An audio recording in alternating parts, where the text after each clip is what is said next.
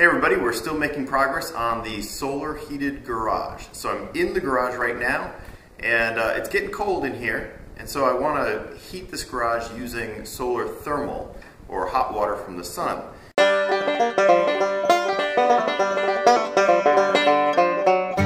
One of the items that you need is controller.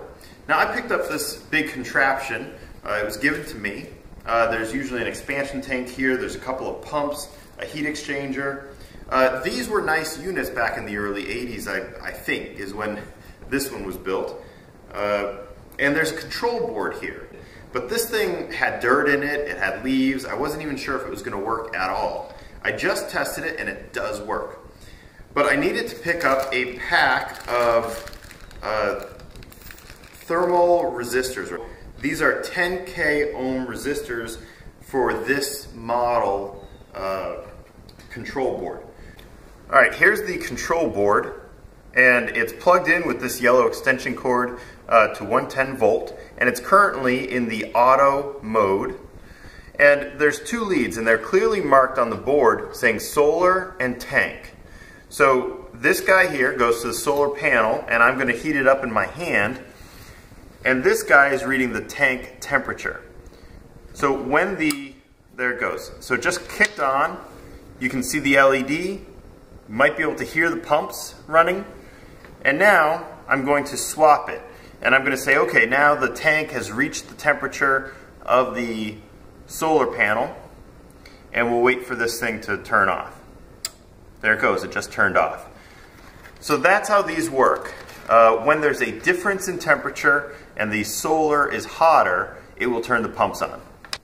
Okay, I got the controller mounted up on the wall and everything's really temporary. I just want to see if it works. So I wired in the extension cord that came with the unit. It'll just plug in for now.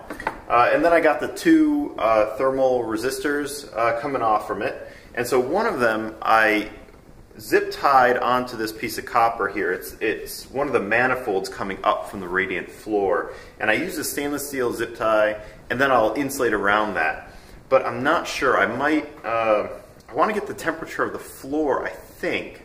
So I could drill a small hole in the floor and silicone that down into it. Uh, or I might take off the cover from the 40 gallon tank and uh, put it behind that cover uh, in there. I'm, I'm not sure what the best setup is. If any of you know, uh, please leave a comment below. Uh, and then I got the other one, and this guy has to read the tank temperature, uh, excuse me, this one has to read the solar temperature of the panel. You can see we're getting plenty of shade from the neighbor's trees across the railroad tracks. Nothing I can do about those.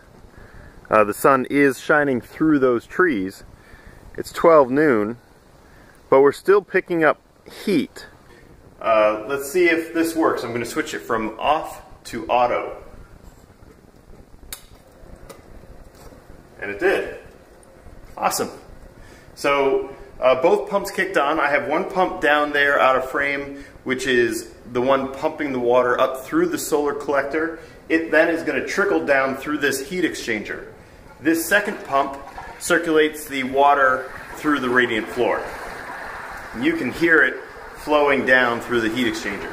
So we have a difference in temperature, and that means we should be picking up some heat from the sun. Awesome.